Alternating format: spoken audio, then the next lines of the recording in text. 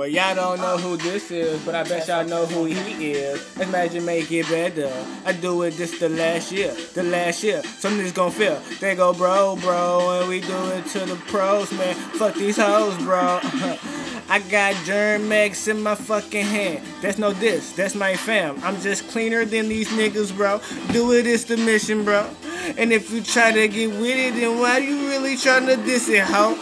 Like, damn it, I don't fuck with you no more. Take a photo, then we out the bitch, we headed to the stove, to the stove. Couple of lows, then we smoke, then we smoke. And she be like, damn, baby, why you smoke? And I choke, and I choke and she choke on the cock and I say damn look at the clock it's time to go. I got to get up in my car so I can go. Got to get this fucking dude fuck your mouth and fuck your house. I just do it fuck your shoes they say damn looking at my shoes thinking that they dead but I be alive. And I'm well. And then these niggas look at the spell. And they mad because they can't tell. That's me, bitch. Magic make it better. Magic the Wiz can't see this. I hope you see it on Twitter.